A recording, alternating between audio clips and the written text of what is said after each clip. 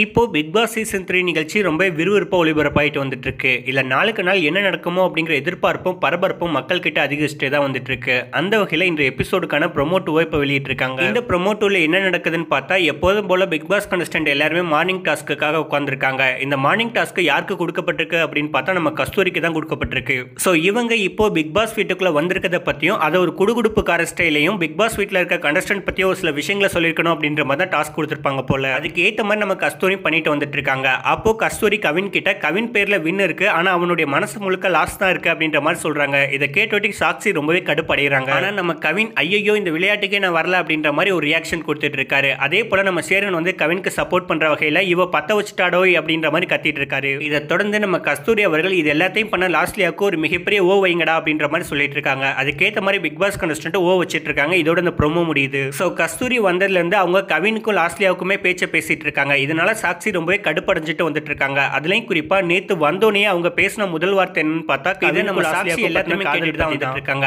அதனால சாக்சிக்கும் கஸ்தூரிக்கும் இப்போ ஒரு மிகப்பெரிய மோதல் ஏற்பட்டிருக்கு. அது மட்டும் இல்லாம சாக்சி கஸ்தூரி கிட்ட என்ன சொல்லியிருக்காங்கன்னு பார்த்தா நீங்க இந்த பிக் பாஸ்க்குள்ள எதுக்கு வந்தீங்களோ அந்த வேலையை மட்டும் பாருங்க. தேவையில்லாம நாரதன் வேலை பார்க்காதீங்க அப்படின்னு சொல்லிட்டு கடுமையா விமர்சனம் பண்ணியிருக்காங்க. இதை கேட்டு நம்ம கஸ்தூரி என்ன சும்மா விட போறாங்க? அவங்களும் பதிலுக்கு சாக்சியை கடுமையா பேசியிருக்காங்க. இதனால அவங்க ரெண்டு பேருக்குள்ள வாக்குவாதம் ஏற்பட்டிருக்கு. அது மட்டும் இல்லாம கஸ்தூரி வந்த முதல் நாளே ஒரு மிகப்பெரிய சண்டை ஆரம்பிச்சிருக்கு. ஸோ இந்த பிரச்சனை மறுபடியும் எவ்வளோ தூரம் போக போகுது அப்படிங்கிற ஒரு எதிர்பார்ப்பு மக்கள்கிட்ட உருவாயிருக்கு. ஸோ இந்த வீடியோவை பார்த்துட்டு வந்துட்டு இருக்க நீங்கள் எல்லாரும் கஸ்தூரிக்கு சாக்சிக்கு ஏற்பட்டிருக்க சண்டையை பற்றி என்ன நினைக்கிறீங்க அப்படின்னு உங்களுடைய கருத்துக்களை எங்களுடைய கமெண்ட் பாக்ஸில் ஷேர் பண்ணிக்கோங்க. இந்த வீடியோ உங்களுக்கு பிடிச்சிருந்தா லைக் பண்ணுங்கள் ஷேர் பண்ணுங்கள் மேலும் இது போன்ற பல வீடியோக்களை பார்க்க தமிழ் டியூப் சேனலை சப்ஸ்கிரைப் பண்ணுங்கள்